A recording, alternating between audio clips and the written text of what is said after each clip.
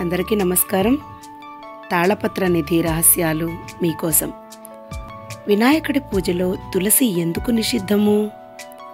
వినాయక చవితి నాడు అనేక పత్రాలను పూలను తీసుకువచ్చి పూజిస్తాము.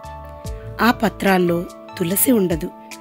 సర్వదేవతలకు పవిత్రమైన తులసి వినాయకుడు ఇష్టపడకపోవడానికి కారణమేమిటి? ఒకసారి గంగా తీరంలో వినాయకుడు విహరిస్తుండగా ధర్మధ్వజ యువరాణి వినాయకుడిని చూసి మోహించి పరిణయం చేసుకోమంది.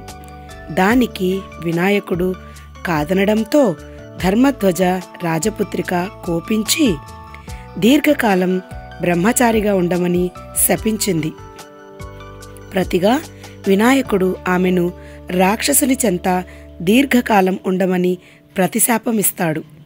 వినాయకుని శాపానికి చింతించిన ధర్మధ్వజ రాజకుమార్తె స్వామిని మన్నించమని వేడుకోగా వినాయకుడు శాంతించి రాక్షసుని చెంత కొంతకాలం ఉండి ఆపై పవిత్రమైన తులసిగా జన్మిస్తావు అని చెబుతాడు.